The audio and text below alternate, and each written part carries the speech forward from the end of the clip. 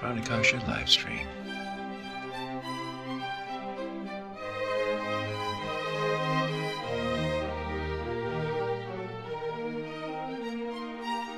Hi, folks. This is Matt at Pranakasha Productions, and today we have the great good fortune to have Mohamed Noor as our guest.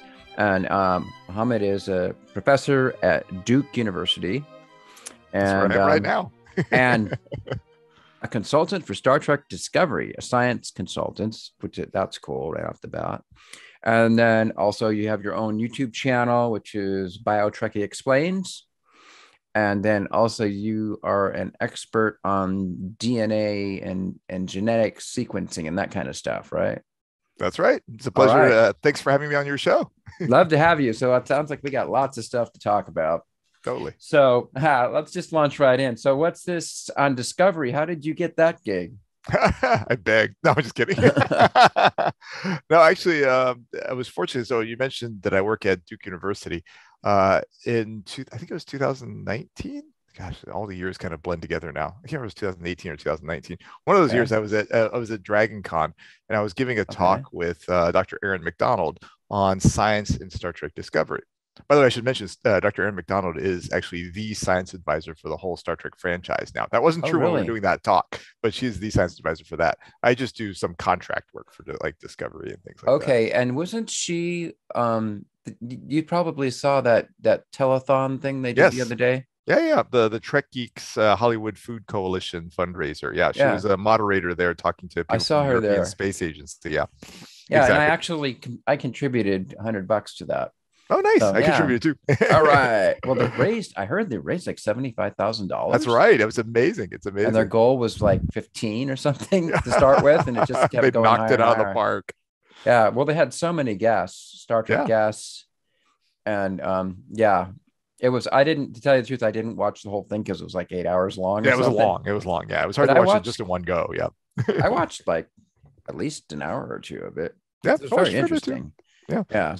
Erin and I had been friends though for for years because we we both would go to uh, conventions and talk about science and Star Trek. And she's an astrophysicist, so her training is very different from mine, whereas I'm a biologist. Okay. So you know, we, we said, hey, let's partner up and talk about science and Star Trek Discovery. So we did that, and some interesting people came to that talk. Uh, um, Mary Chieffo, who plays L'Rell in Discovery, and Okay. Ken Mitchell, who plays Kol at the time, and um, Jayne Brook, who plays Admiral Katrina Cornwell. So they all came and actually sat in the back. Uh, Mary was actually friends with Erin, so I think that's what brought them to the talk. Okay. But you know, they wanted to see this, like, oh, let's check this out. And I remember it was funny at the end. Ken raised his hand and asked a question. Everybody, what? And turned around. That's of- cool. But after that, Jayne came up to me. Jayne Brook came up to me and said, "Hey, I went to Duke University." You know, and I was like, "Really?" And at the time, I was just about to teach a course the next semester on uh, genetics and evolution using Star Trek. So actually, I have a book here. Actually, right, right here, it's called "Live Long and Evolve: What Star Trek Can Teach Us About Genetics, uh, Evolution, and Life on Other Worlds." Oh, great. Okay. We'll using. can you get that on Amazon? You can absolutely. Okay. So we'll put a link in the description for that. Sure. Yeah. That'd be great. Thank you. Yeah. anyway, sure. I, I was teaching a class using this. It basically is my introductory genetics and evolution class as part of the majors, uh, part of the biology major here. But I thought I'll do it as a non-major version, but all using Star Trek. So I thought that'd be fun.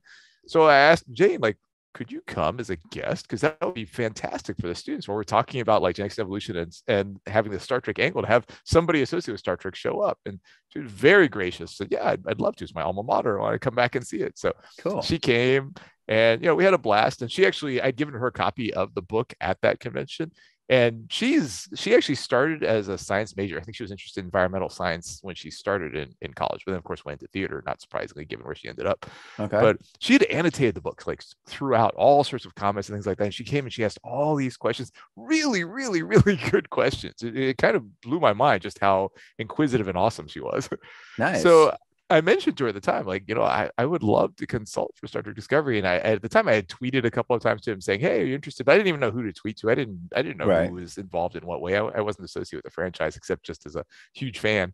okay. She said, she said, Well, you know, I know one of the writers. Let me let me talk to them. So she sent me up to talk to one of the writers. The writer had me talk to the showrunner. One thing led to another, and boom.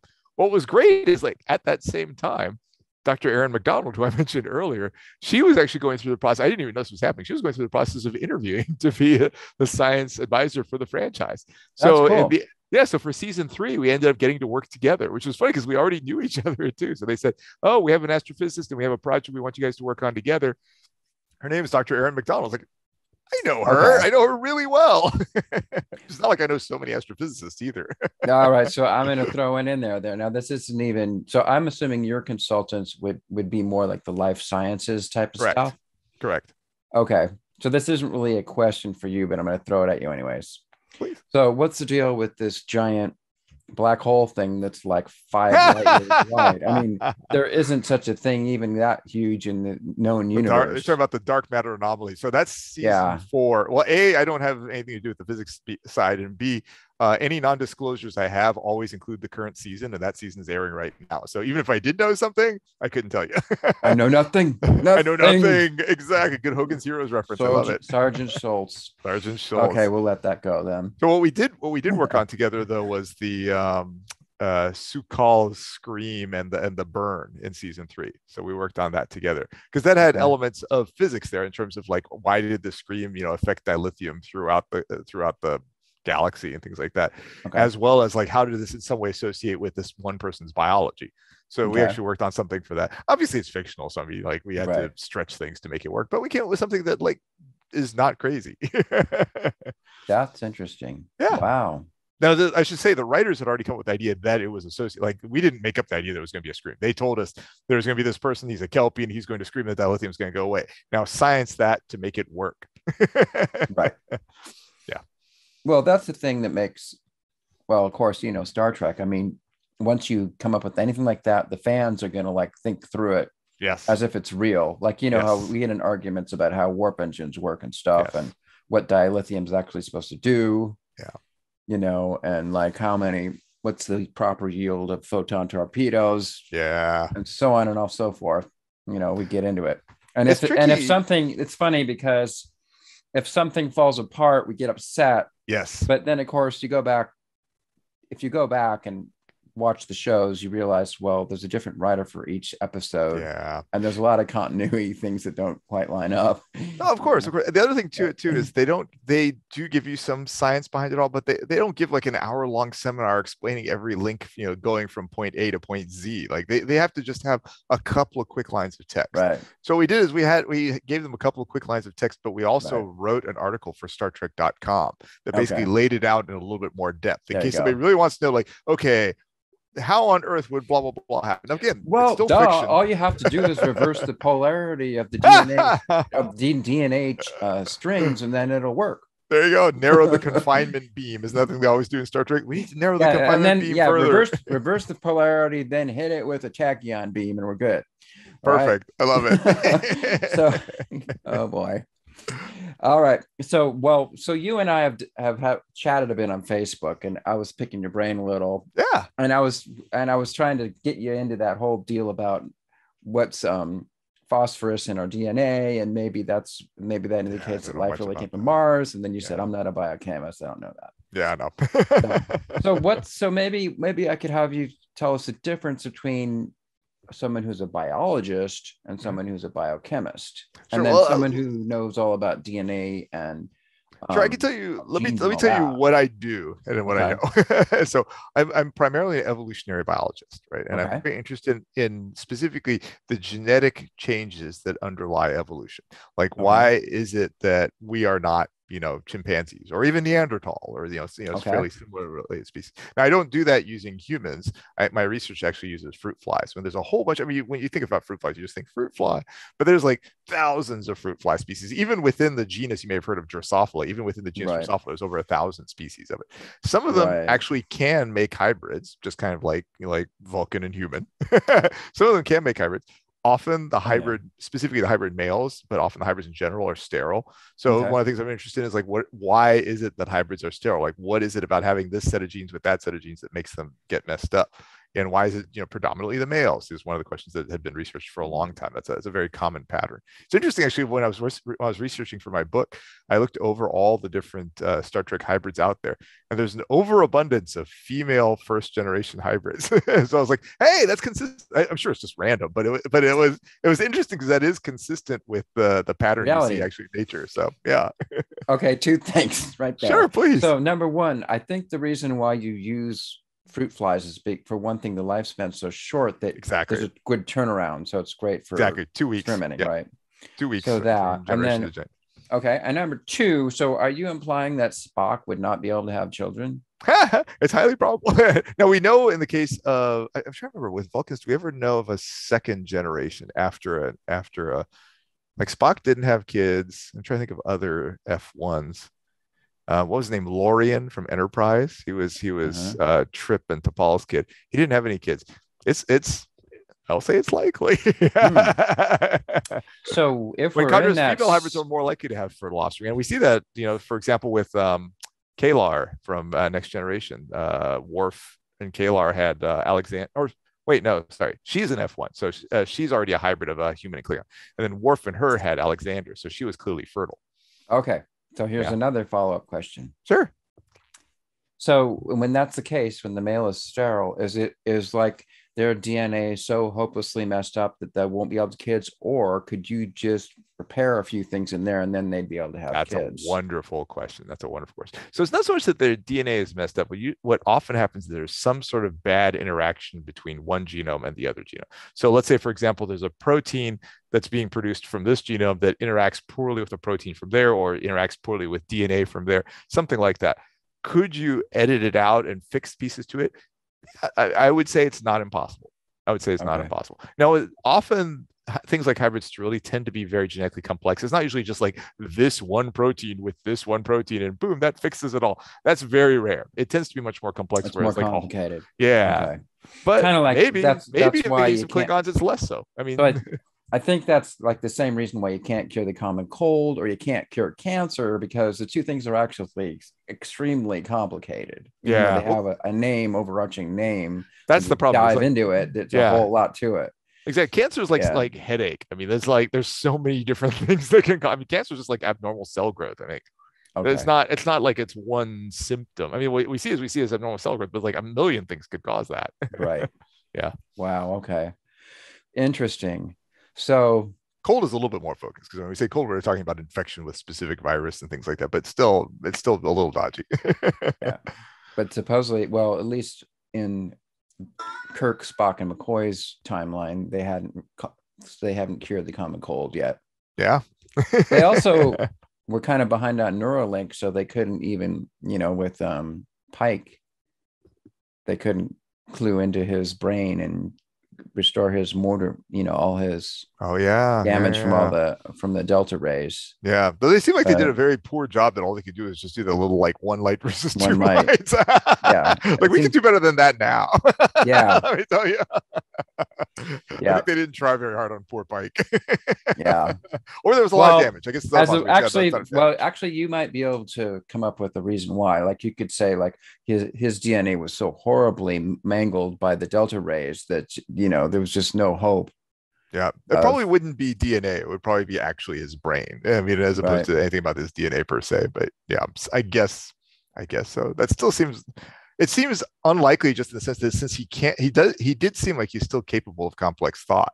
It didn't right. seem like it, you know. So maybe I don't know. I'm not a neurobiologist by any means. Again, I'm genetics and evolution side. Right. So but I guess of I, course, dang, if only they would have kept one of his pattern buffer, you know, only use a transporter. They could have just, you know, retransported a better version of him back in there and or just made a or made a bunch of clone clone pikes. I yeah. still don't really get why that doesn't happen, but whatever. I'll just leave that alone. well, they they did have those clone. Well, they cloned Riker in that one yeah. TNG episode. Yeah, yeah. There's and, so many. And there's always that philosophical question of whether it's actually the same person on the other side or are you dead and that's just the clone. oh, okay. Well, if you want to go there, then you get into the whole thing about what is consciousness and awareness. Yeah. And all that. Yeah. Like, for example, okay, we went there. So like there's this thing there. right now, there's this whole thing about artificial intelligence, right? And like the computers are going to take over and humankind is going to go extinct because Mm-hmm. they're just going to surpass us. But I personally don't believe that because we call it artificial intelligence, but I think the better term for it is imitation intelligence. Hmm. This is why I say that. Mhm, mhm. It's because no matter how complex the computer can perform little logical operations, all it is is like a bunch of dominoes falling down in certain patterns, but there's no awareness to it. Mhm, Like the mhm. computer does not have an actual awareness of what's going on, and all Mhm. the things that it does mean nothing to it, right? Hmm, mhm, it's mhm. only useful to humans because we're actually aware. We have this thing Mhm. called consciousness. Mhm, mhm. And I know that a big argument is well, like all it has to do is become complex enough, and then magically, suddenly, it will have consciousness. Mhm, mhm. Well, I completely don't buy that. So- Partly because I've done a lot of meditation in my life and I've Mhm. thought about this a lot, but I don't personally, obs- and I'm not going to even say I don't believe. I Yeah. say I do not observe that awareness, the actual awareness, the actual consciousness is a function of the complexity of the thoughts that fly through my mind. okay. Okay. So let me ask you. Let me ask you some questions. here. I'll turn it around. Okay. Let's start. Let's start simple. Okay. A fly, fruit Okay. fly or whatever. Is it aware? I mean, Um, it certainly reacts to things. It reacts to things in, in I different think, ways. well, it's, I would say yes, actually. Okay. So I would say that actually a, flu- a fruit fly has experiences. Mhm. And actually, I would say yes is aware because I would see in my belief Mhm. or and also my observation that any living thing has awareness. Okay. Okay. So, like, I would even say that on some level, a fruit flyer has desires. Mhm. And actually, I would say, even though the biologists tell you that they don't, I would say No, that they, a they do. They, they do. I mean, they, they clearly. what I remember in my biology class when we took flies or moths or whatever, and we impaled them with these giant spikes, Mhm. which are basically push pins, but to them it was this giant telephone. Of course, yeah. Right. through Yeah. The- They're like, don't worry, they're lower life forms and they don't feel pain or anything. And then we were like, okay, fine, we can do That's this. solidly not true, but okay. I do not believe that. That's solidly not true. I believe that they do feel pain. yeah, yeah. In fact, yeah. I think like a worm, the whole thing. yeah. No, we know worms feel pain. We see this all the time. yeah. Okay. That's like when they're when a worm is like outside of the ground and in the sun. Yeah. It tries hard. It it's like I got to get out of here. Yep. And Yep. I would say Yep. yes. That's because it's feeling pain. It's feeling a burning Yeah. sensation on its skin, and it's like this isn't good. I gotta get Yeah, away. yeah. So the argument, what I tell my son all the time when we're out looking at, because he'll say things about like, was this fly thinking about this? Is this fly thinking about that? Now, is he, my son, I should mention, is uh, intending to go into computer science. So this is a great Right. conversation involving. Oh, good. I say that like, you, if you think about the fly, it's just like, it's just a, a its brain is basically not that different from a computer program. There's Mhm. a lot of if thens, like if this, then that. If see female, go around to the side and try to mate. If smell this food, you know, divert your attention to. It's, it's, there's a lot of things, like Right. that. A lot of these sort of if thens. Mhm. I think the technical, well, it's a dated now, but the old technical term for this was fixed action patterns. That like, you know, when receive X stimulus, go through this pre preset set of behaviors. That, that's a slightly dated term now. That too. But the thing is, I mean, compute human beings do the exact same thing. It's just that's like that's where I was gonna go. It's like I'm, I'm less convinced that we are different. Right. I just think we have. I, I say we're a much longer computer program than the fruit flies computer. They Mhm. have a fairly short program. You could probably write most of it. Right. Whereas our program well is very what- long. here's my point though my point is yes we have all this like I, and my my brain works on stimulus and response Yeah. and then it, it goes through constant patterns it's constantly Yeah. churning and also the, uh, the other big difference between a human and a computer is that inside a human brain there's this constant churning of background noise and random thoughts and stuff that go on where a computer is most well nowadays who knows with windows but what it used to That's a good be is that there was a definite purpose for every single Yeah. function, right? Yeah. And um, with multi-threading and everything, it gets a lot more complicated now. But Yeah. you didn't used to have to deal with that. See, I know a little bit about this because I used to be a Java programmer. Oh, nice. So, and so I do have some experience with this stuff. Anyways, Yeah, yeah. but my point is again, yes, our awareness and our consciousness is guided by our thoughts and by the neurons of our brain. And we there's all these patterns that we experience, right? But my point is all that's happening, and sometimes we feel completely bound to those things. Mhm. But actually, your awareness is not that. Your awareness is the awareness that observes and experiences all that and is able to step back and look at it Mhm, mhm, mhm, and mhm. differentiate itself from it.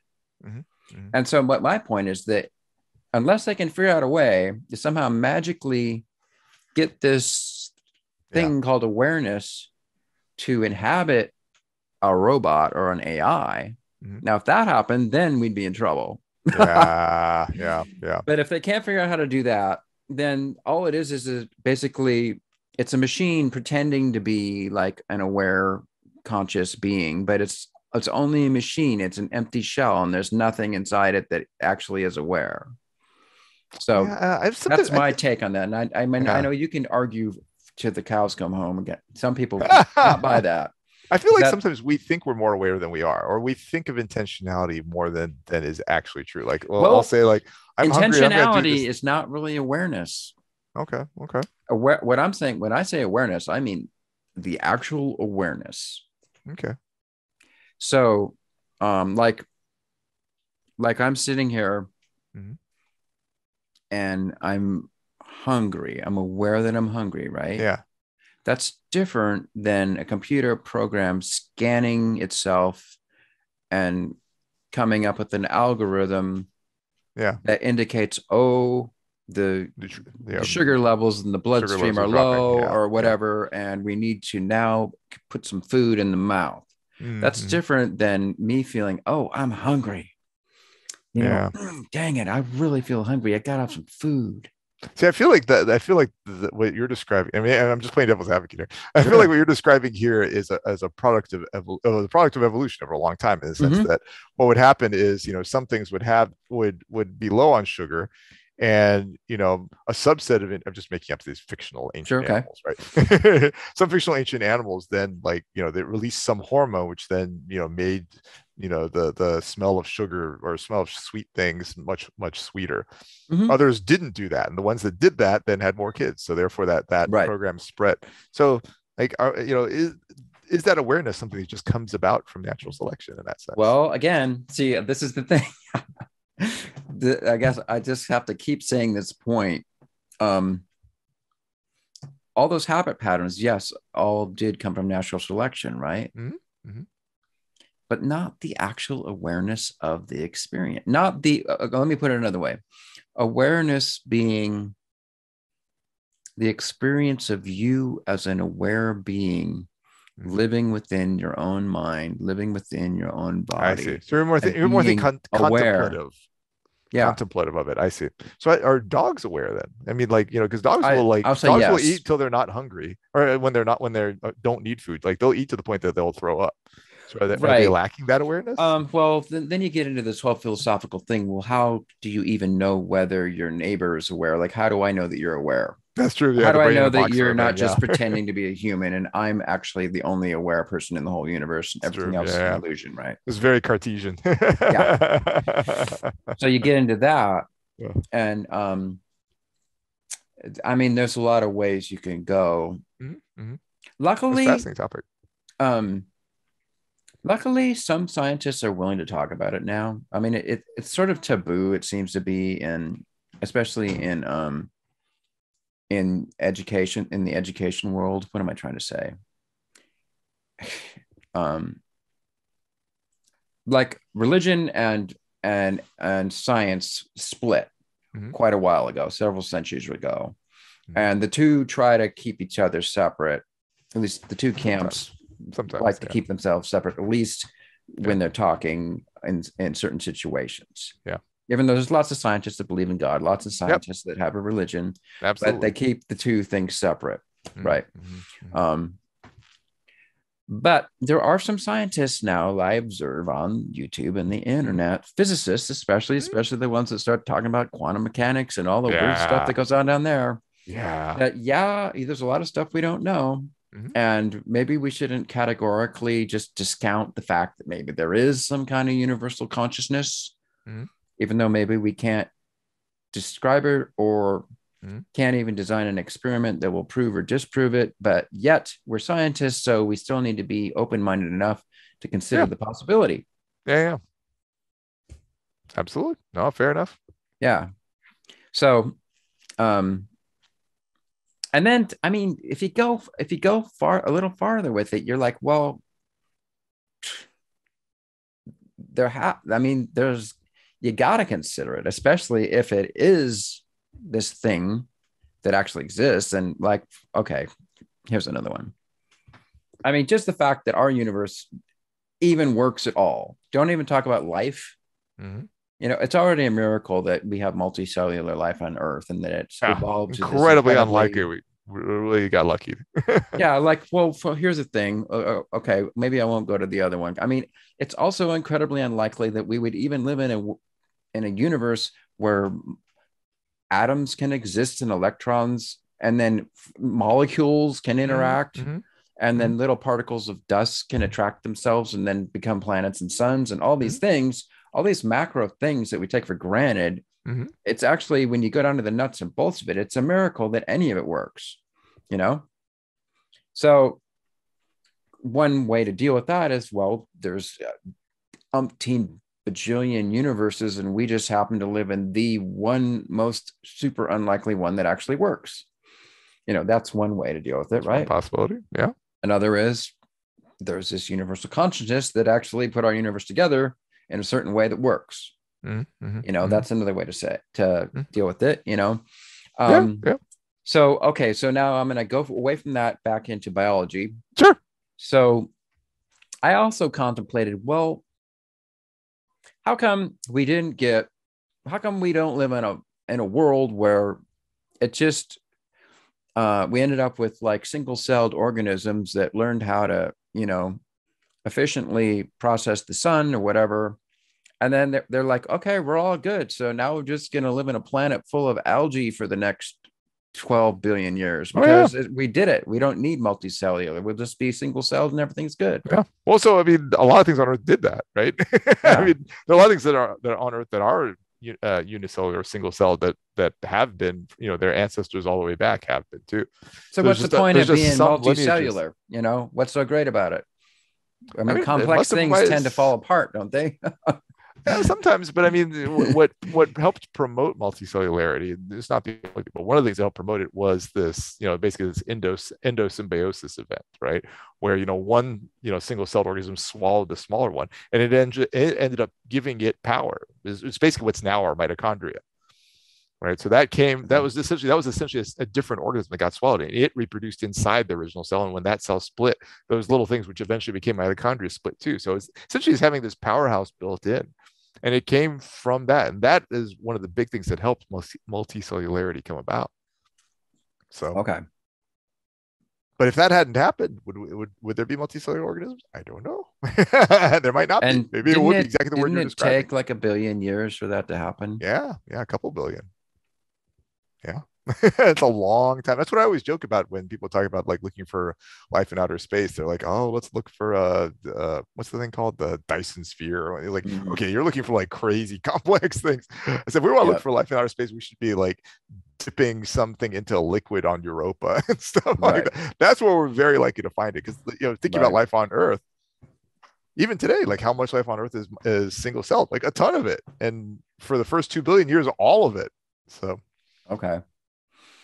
All right, Yeah. let's go into panspermia then. yeah Okay, so Star Trek the early on in Star Trek, they decided, you know what? We don't have the budget to have all these freaking weird looking um, aliens on our show. So we need to come up with a reason why whenever we go to a new planet, they pretty much look like humans with like a few different, a few subtle differences. Yep. And so they came up with this idea of panspermia, or maybe they didn't come up with it; they adopted it. Yeah, no, they said, okay, what create it, happened- of course. What happened is many eons ago in the ba- Four billion years ago, yeah, or three point five, whatever they. I can't remember they said. Yeah, some humanoids basically went around and populated the whole galaxy, spread their DNA everywhere, and just spread the seed. And, and they were all humanoid. And that's why everyone in the galaxy is basically a humanoid, or most of the species that we run into on the show. So they figured that out. I, I remember reading that. And so now that uh, uh, most likely that idea was already had already been around, right? of course, of Okay. course. It's very problematic too. The way, uh, not not the idea itself, but the application in Star Trek. Okay. Be- because what it's assuming this is one of the most the most one of the most difficult parts it's assuming that even though we share ancestors with klingons and i'm trying to think all the all the uh, aliens that were on that planet klingons and romulans and cardassians our, an- our shared an-. Well they weren't there. I'm, try- I'm trying to think who was on that planet specifically just because it's, it's 100% them. Then in theory andorians could be some other offshoot or something like that. Okay. but our shared ancestors 4 billion years ago we are literally more closely related to grass than we are to all. Those other things like we don't make hybrids with grass We- don't look remotely similar to grass like that level of convergence this idea of coming and and looking that similar like take us to a to uh say like a cardassian or cardassian looks pretty similar to us romulans look very similar to us Mhm. we would look that similar four billion years later in complete isolation, like living on different planets for the next four billion years. Astronomically unlikely because we think about all, what are all the random events like we just talked about endosymbiosis. Did that happen exactly four billion years ago on all those different planets?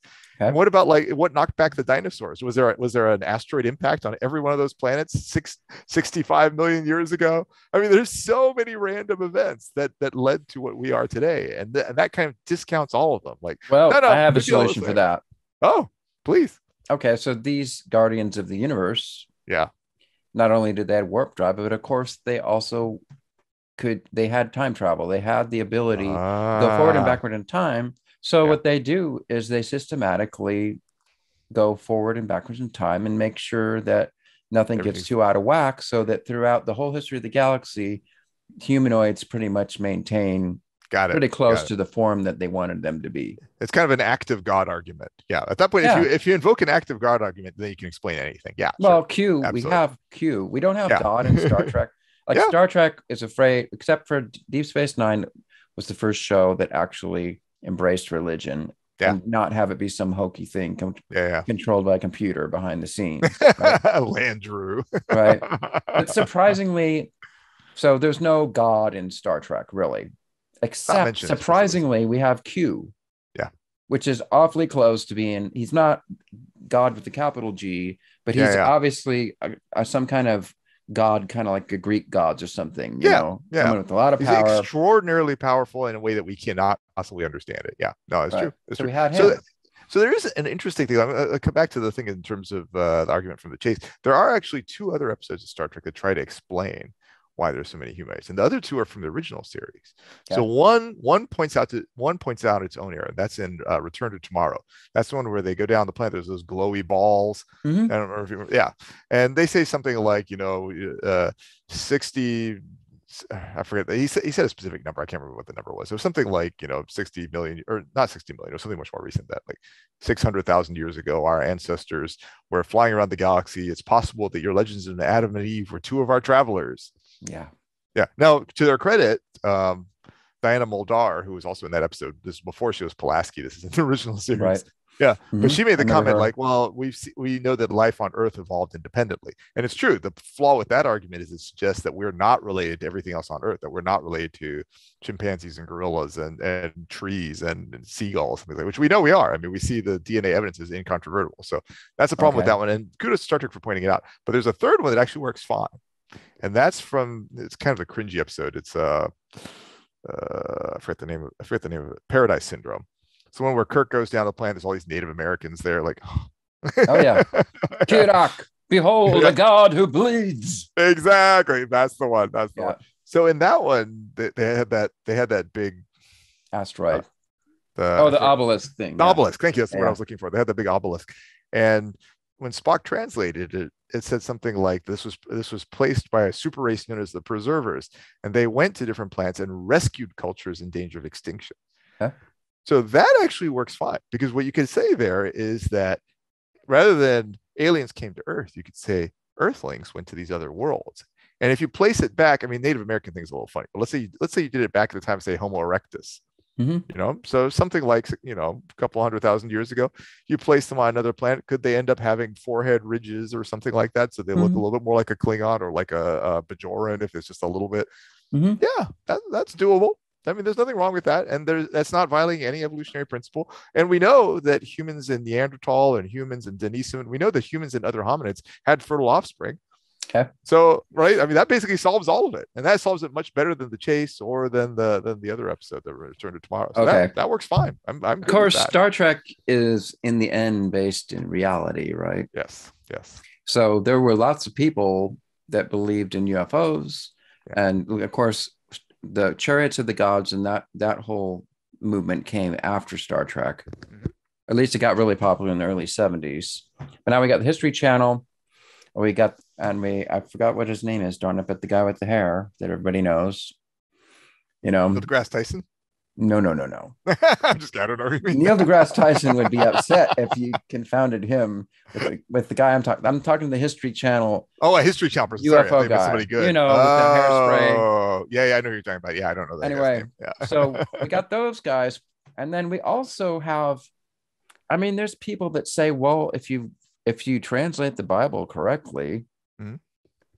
you know, if you go back to the ancient Hebrew, uh, or if you start looking at some of the other books of the Old Testament that are now known from the Dead Sea Scrolls but didn't make it into the canon, there's lots of stuff in there that, like, for example, the word Elohim, which gets translated as God or the Lord God in English, actually is a plural word, Hmm. which means the strong ones. Hmm.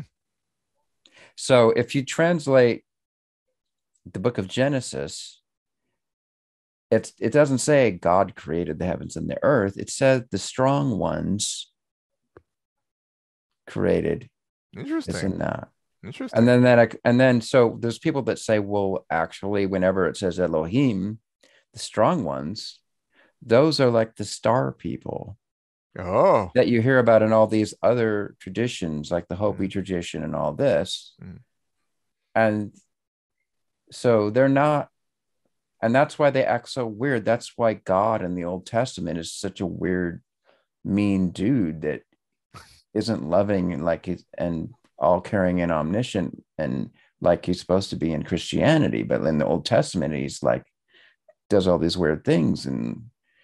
And you can't trust him because he gets mad and then he tells you to go off and kill all these people and all this stuff. Well, some people say that's not God. That's the strong ones. And the reason why they're so weird is because they were a race of powerful beings that argued amongst themselves and had different factions and they disagreed and some of them were nice to humanity and other ones just wanted humanity to be slaves and it goes on and on and on and on like sounds very this. much like the the Roman gods a little bit. yeah Mhm. so anyways i mean there's people that say well that's actually where humans came from was all this stuff Hmm. and then the you know the whole thing where people say well humans are a hybrid like we're a hybrid alien dna plus plus you know apes that's why we we we're kind of related to apes but we look way different you know and so Yeah. all that stuff so let's let's go there so can you I don't love this one, but go ahead. Okay, here we go. so can you absolutely refute that and say no i can tell you 100% i've looked at the human dna and there's no alien sequences in there it's I don't all even know what alien planet Earth. sequences means. Like, what does alien sequence mean? It just means like sequence that doesn't match anything else we've seen. I mean, that in that case, you could say like every single individual is an alien, you know, Well- and an alien relative to each other too. I mean, the, I mean, okay, so there is this thing where some people say, like, okay, there's one, there's a, there's a sci-fi trope that's like, you know, one day this alien DNA landed on the Earth from a meteor, and Yeah. then it was so different from our DNA that it just took over the entire planet and destroyed all life on our planet. yeah, And people say, kind, you know kind what, of Andromeda strainish. that won't work because for one thing, there's some people that believe. Mhm. Well, I think it's a fact that the Earth is bombarded by quote alien proteins and amino amino acids. There are some amino acids Constantly. in meteorites. It's true. There's some Right. amino acids in meteorites. Okay. So fair. that's we're getting bombarded by that stuff all the time, and it's not destroying life on our planet. Hmm. Some people will say, actually, not only that, we're being bombarded by alien life. But what happens is planet Earth it's not it is inhospitable. or planet Earth down? has has life on planet Earth has learned how to deal with that in the same way that our body deals with viruses Yeah. and whatever. It's got its own defenses and it Mhm. is able to protect itself from that because it's evolved to or absorb that DNA Yeah. into it. So you could say, like some people will say, uh, at some point we'll realize that our DNA is full of alien DNA because we're being bombarded by it from the rest of the galaxy for eons. And that's just Mhm. basically how life interacts with other life in Mhm. our galaxy. Mhm. So what do you think So let me, let me give you, let me give you an analogy. So uh, when we think about so uh, think about the Linnaean system of classification, you know, right? Like you you, you know, kingdom, phylum. You you've heard, you remember this from like grade school, right? Mhm. And that If came from Archimedes or yeah, it's Uh, much older than that. But I was thinking Linnaeus did it very systematic. But Okay, yeah, there were there were older ones, of course, too. Okay. So, but you know, Aristotle, focusing on Linnaeus, yeah, no, exactly. There's much older versions for sure. So Okay. Linnaeus uh, clarified his version of it starting in 1735. Okay. If, if you were to look at something like a dog, right? So Mhm. it's it's a it's an animal. It's obviously not a plant. It's not a fungus. Okay. It's a vertebrate. It's got a backbone, Okay. right? It, it's um, trying to think what are other pieces to it. Animal vertebrate. Um, Um, it's it's got bilateral symmetry. it's a, it's a mammal. Well, yeah, no, that, Yeah. that but that would come back for it. So it's a Okay. mammal. So it's it's it's hairy, gives milk to its offspring, and it's Okay. canine. You can see by its appearance, right? Okay, so you have a fairly system. got teeth. Good good classification there. Fox would would- a fox would fulfill all those categories too. Mhm. If you have a cat, it would be the first three, but not the fourth. Right? Mhm. It'd be it's still animal, still vertebrate, still mammal, but yeah, it's clearly not a canine. If you get a seagull, it's just an animal, just a vertebrate. Not it's not a mammal. It's not hairy. Doesn't give milk to its offspring. Got feathers.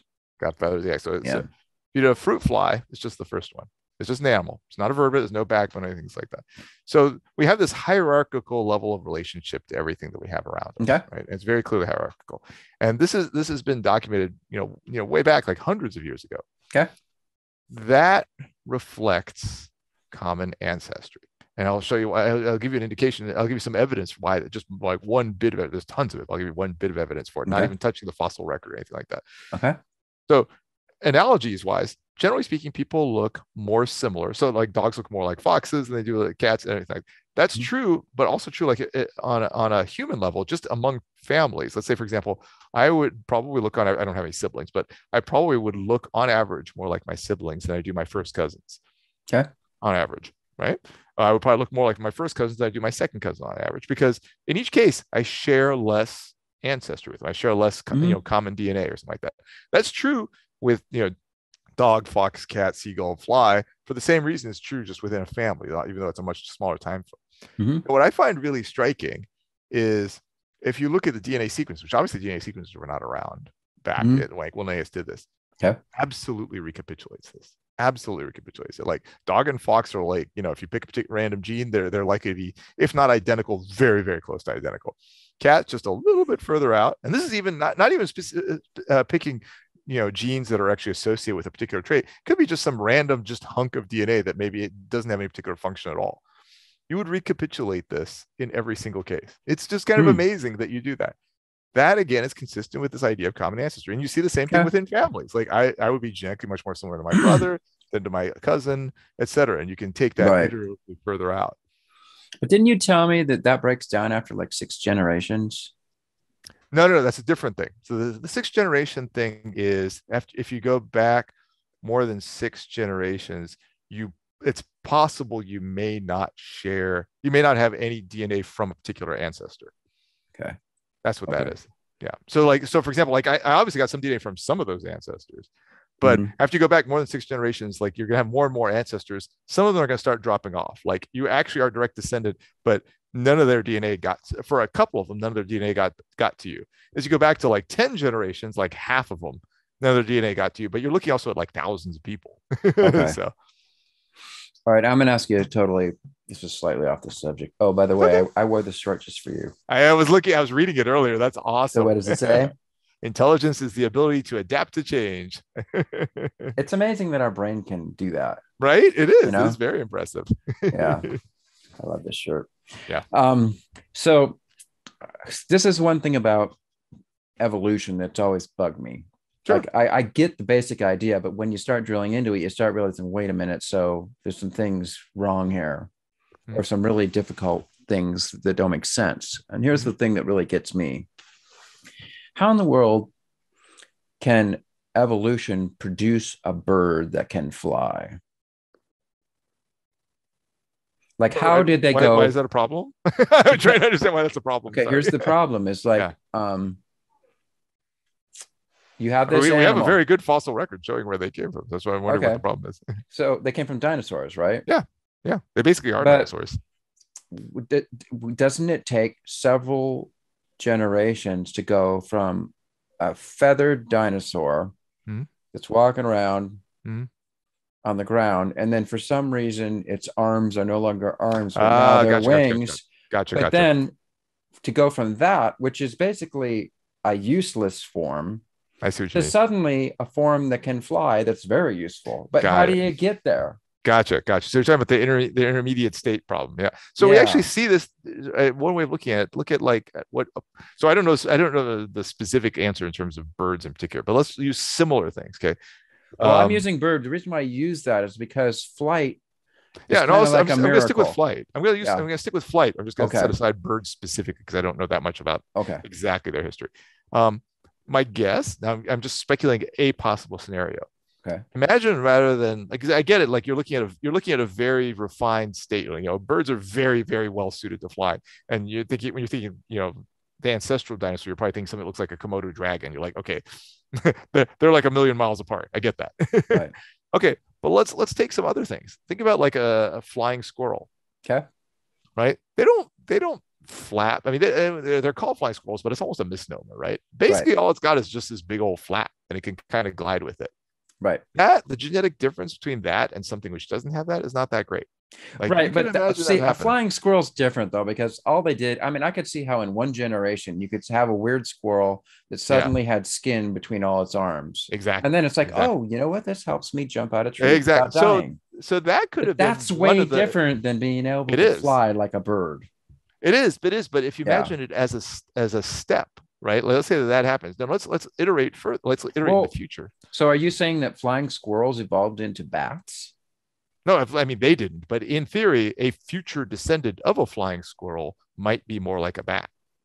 Okay. I'm not saying flying squirrels evolved into bat. No, those are they're not related to each other. But I would counter that because you know what? In order for a bird to fly, for one thing, they have to have feathers. They have to have a really good heart. They have to have they have to have a really good um, strength to weight ratio. They got to have hollow Mhm. bones. There's a lot of stuff There's a lot that of has stuff. to be right for them to be able to fly. I'll, I'll argue. I'll argue with you on that. I think you're when you're saying has to, you're saying this is what's optimal. Okay. The other things, like you could imagine being having a really crap version of this, could be better than not having anything at all. And then as you have when you get the crap version, then you just get like well, the thing is, is though, I mean, to be able to fly, either you fly or you don't. So, so let's say you're a crow, Mhm. but you're too heavy, so you can flap your wings all day, but there's no way you're ever going to get off the ground. well, this goes How back is to my that flying. crow going to survive? This goes back to my flying squirrel analogy. I'm Okay. imagining that like this ancestor thing could climb up and climb up a tree or something like that, and it could glide, right? So Okay. it got to that. And then basically from that gliding point, it then iteratively got things, but like some of its descendants then got something which would which may say the hollow bones. And like, oh, it actually now glides further. And then some other dis, you know, some descendant of that one. This is the problem is that when we think of it, we tend to think of it as like a one-step thing. But Right. It's really hard to conceive of the, length of time it takes for these things to happen. Like we think I get that. as humans, we think about like, you know, if I tell you like this happened a thousand years ago, like, oh my Mhm. God, that's forever ago. If I tell you it happened like 10,000 years ago, you're like, oh, that's so long ago. But like, we don't conceive of that, like, that that's 10 times the difference. Even if I say a billion years ago, you still think that's a long time ago. Okay, but here we go then. Yeah. So I can, but it's the whole hundred monkey thing.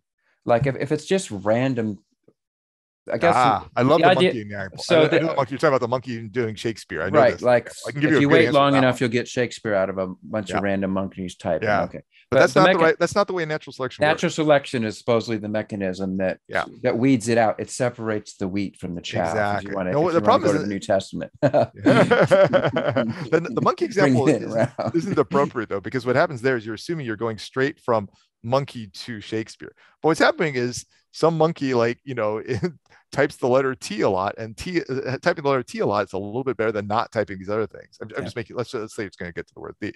A descendant of that one gets the T gene, and it types TH, TH, TH, and it's like okay, one of those then ends up that version ends up spreading. So it, it's Right. iterative. It's not like a this one monkey typed, you know. Uh, Right. I, I, I, so actually, what would have to happen is the monkeys would have to evolve to an advanced enough life form that would even care about writing Shakespeare, and then they could do it, right? After I mean, umpteen billion Yeah. generations. I mean that that's one possible outcome, but it could also just be something where the, they just. I mean, so when we look at a fly, eh, coming back to the fly example, flies Okay. are not conscious of what they're doing at all. they're, they're not thinking about it. Like it, if it well, well, just me, a second. Yeah. Just because they do things over and over again in an unintelligent way Mhm. doesn't actually prove that they're not conscious. Like there's fair lots enough, of human fair, beings fair point. That's true. that are that's true. supposedly conscious, but they still do the same stupid things over and over again. Right? That's true. That's true. Their brains are tiny, though. Oh my god, they have like I forget how many neurons it is. I've, I've heard the number before. They have so few neurons. They're so basic. yeah, but I mean, probably what's happening. So we know for I mean, actually, there's a there's a moth. I'm trying to remember the specifics Okay. on this. There's a moth that when a bat is coming at it. It like it it it will try to evade the bat. Then when the bat gets really close, it like plummets. Right. So people say like, oh, it knew the bat was coming, and it does this. But basically, what happened is there's there's this pair of neurons in there, and if this neuron fires that many times, which is is triggered by the, the bat's you know ah, scream thing, his ultrasonic scream right. what ends up happening is its leg goes up and hits its wing and it makes it fall down. But Yeah. you could easily see that just being a simple product of Right. natural selection with no awareness whatsoever of what it's doing. It's just Right, which those is moths that did that survived. which is exactly okay. I'm not a huge expert on machine learning, but from what I understand, that's exactly what machine learning is. exactly. You just have a bunch of random stuff happening, but then a pattern develops, Yeah. and then something directs it saying this pattern is good. So let's reinforce that pattern. Exactly. And then exactly. and eventually you have a thing that can then eventually you have a car, a Tesla car that can drive itself. yeah, Okay. but even though the car is really not aware, it's true. Like the car doesn't give a shit whether it drives well Yeah. or bad Yeah, or not. It what the people who care are the, the humans that use the car. Yeah, But the car doesn't even know what it's doing. Car doesn't care. Yeah, no, no, that's it's right. just a bunch of patterns, yeah, yeah, yeah. you know, which is that's Oh, actually, I'm curious. this thing. You're so you're watching this season of Discovery. What do you think of Zora then along these lines? Um, let's see. So I'm on season. Let's see. I'm on episode five, I think. Of season four. I'm in season four, episode five, I think. I'm not all the way up to date on all the episodes. I think Zora. I think Zora's already come about where Zora is like having thoughts and feelings and stuff, right? I think that's already happened. super right? computer. Yeah. What do you think of Um, that? Do you? do you- It's a good curious. idea. Yeah. Um, well, Zora has been around for a while, and it's interesting how the writers kind of just ignored Zora for quite a while. Oh, from the short trek, you mean? Yeah. Yeah. Um, well, I mean, in my opinion, Zora is, isn't much different than Hal. We could talk about Hal from 2001 True. Space true. Odyssey, right? It's true. So, well, part of what made Hal work is that the person who created Hal imprinted his own psychology into him to make him work. Mm, mm, mm, And. I think the same thing happened in the Star Trek episode with uh, what was the doctor's name who created the M5? oh yeah, the um Daystrom.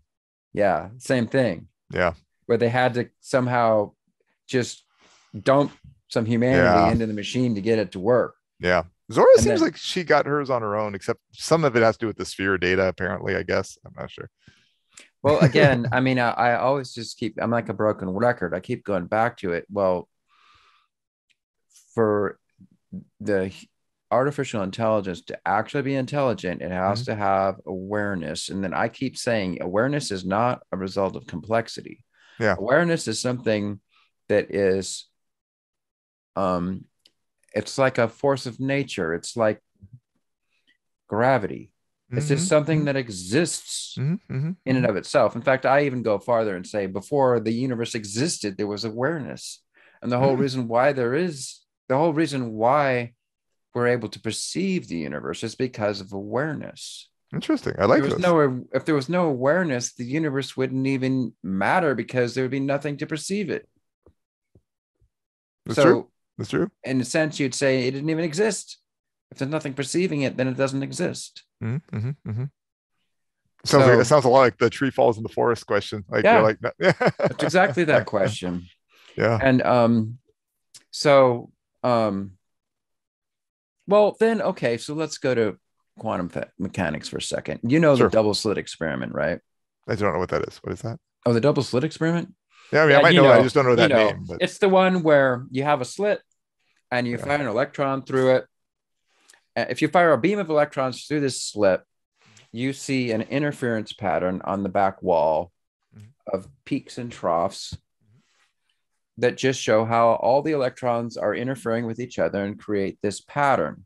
Okay. Instead of seeing just a flat distribution, you see lines, kind of like spectral lines okay. caused by the waves canceling each other out sometimes and and amplifying each other other times, right? yeah, yeah. So people are like, well, okay, great, light's a wave, okay, or electrons are a wave. Mhm. So, but we know that electrons are particles because whoever it was proved that it was someone in the 19th century with the oil drop experiment proved that there's a unit of charge called an electron and it's an, a discrete unit it has a certain value and everybody agrees that electrons are particles now okay so somehow this huge amalgamation of electrons uh, behave uh, like a wave like a stream of water Mhm. but so all we got to do is dial back the stream until all we're doing is shooting one electron through that slit. And then from then on, it won't be behave as a wave. It'll just behave like a particle. And Mhm. you'll, if you shoot one electron through the slit Mhm. and then keep track of the pattern, Mhm.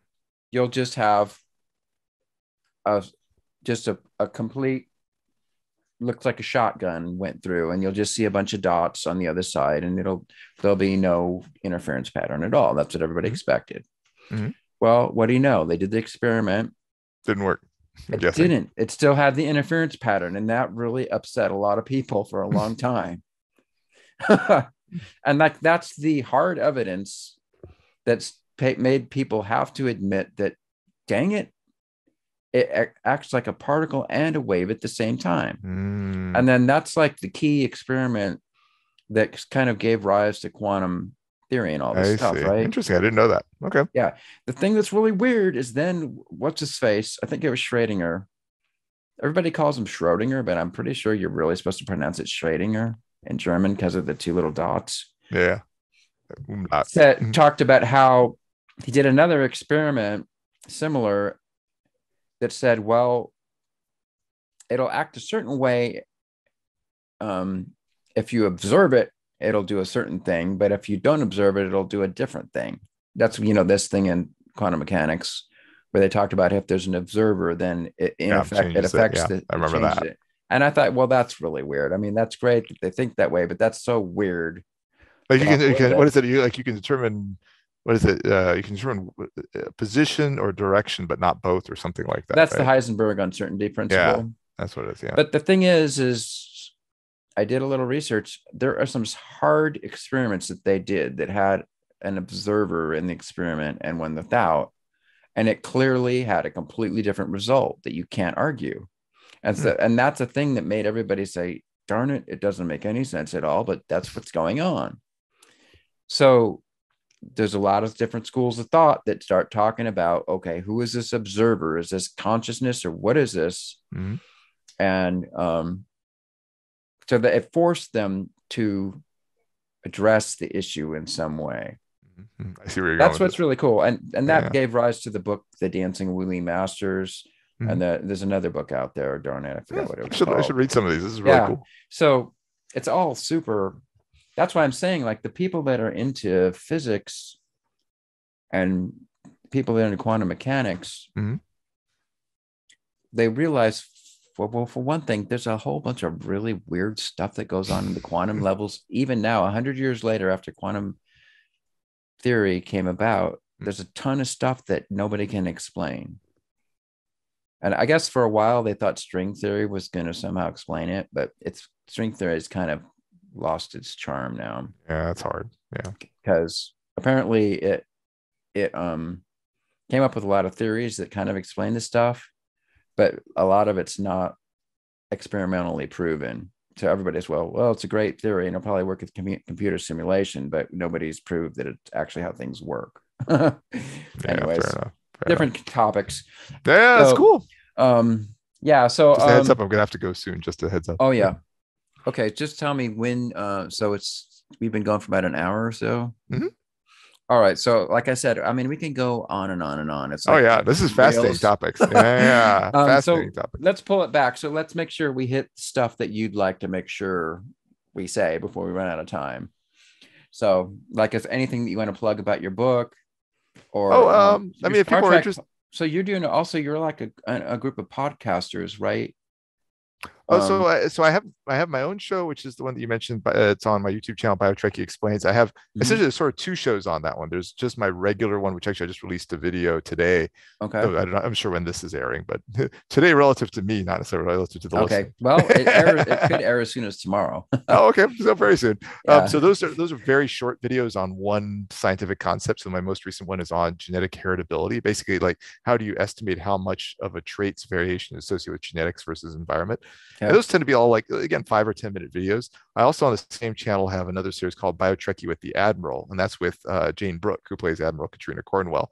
So Right. those in those we go over episodes of uh, season three. Uh, those are already online of Star Trek Discovery, and we're going to release uh, in a couple months. We're going to release the ones for season four, going through it, the science and some of the production aspects for Star Trek Discovery. She wasn't in season three or four, but she comments just Ah. from her experience as you know somebody in Hollywood who was associated with the show, and I talk about a lot of the science that's observed there too. So, those she was the admiral that was like the the lover of um oh, Lorca, right? yes, that's correct. that's not the first thing I would point out about her, but yes. Okay. Well, then again, they Fair enough. and Uh, but you it, mentioned I'm- you mentioned yeah, the podcast thing, so I, I'm I, I'm regularly on uh, things associated with the Seventh Rule or Virtual TrekCon. Those are not Right, my that's podcasts. the one. Yeah, Yeah. that's the one. Seven. Exactly. Those are not mine, but I, I do a lot with them. I think both. So the Seventh Rule goes through uh, episodes of Deep Space Nine every week and, t- and talking about that, as well as some of the current series too. So like the, t- right now they're talking about Star Trek Prodigy episodes too. Mhm. Wonderful group of people. The hosts are Ryan T. Husk and Cirroc Lofton, Right. who played uh, Jake Sisko on Disco on. Um, right, and they were Nine. both at uh, Star Trek Las Vegas. They were both at Star Trek. Were Las you there also? I was. I was. I gave a couple of So talks there too. I was there too. Oh, fantastic. Yeah. Well, are you going to? Are you going again this summer? I'm already signed up.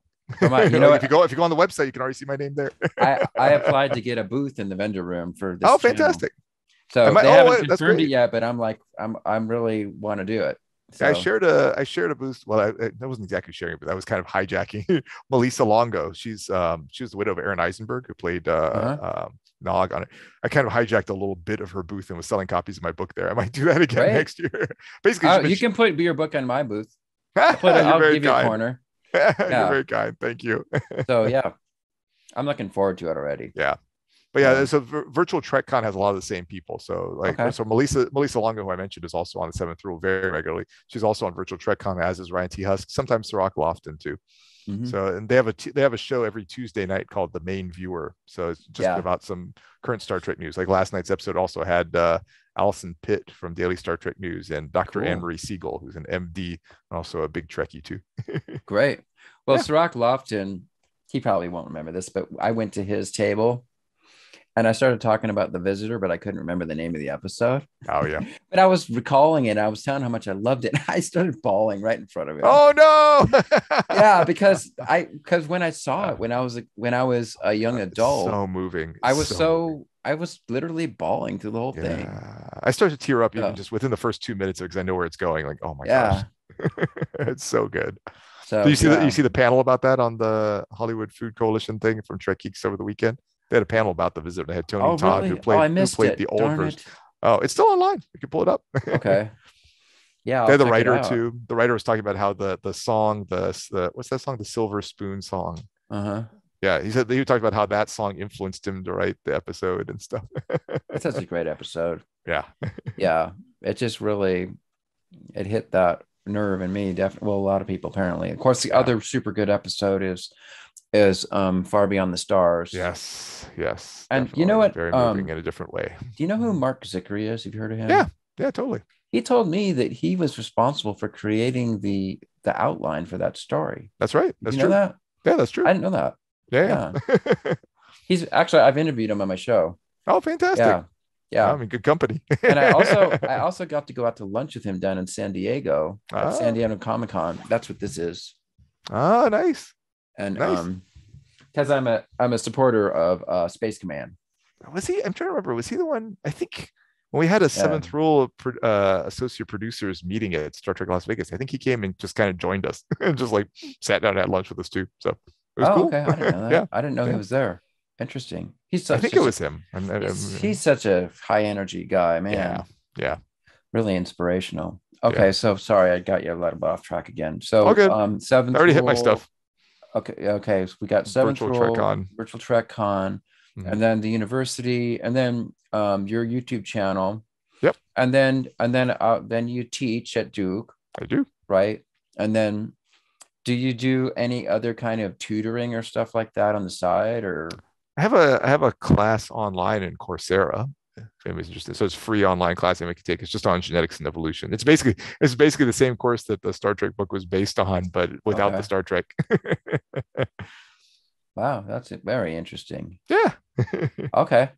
Well, I mean, like I said, I mean, we're basically just constrained by your schedule. yeah. Like yeah, I can keep going for another hour if you want.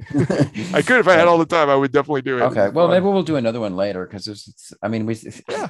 You know, we. I feel like we just scratched the surface of a bunch of stuff. totally. You know, but it's great. I just love having these kind of conversations. Thanks so much for having me. It was it was very very Okay. thought provoking for sure. Very good. Okay, so let's just sign off. We'll do our live long and prosper. Whoops.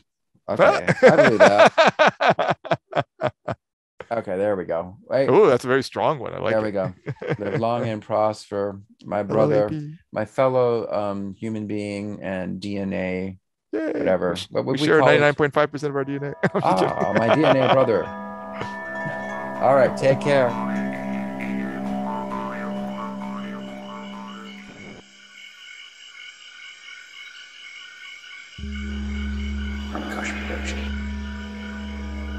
fantastic creations emerging spontaneously from the space of life.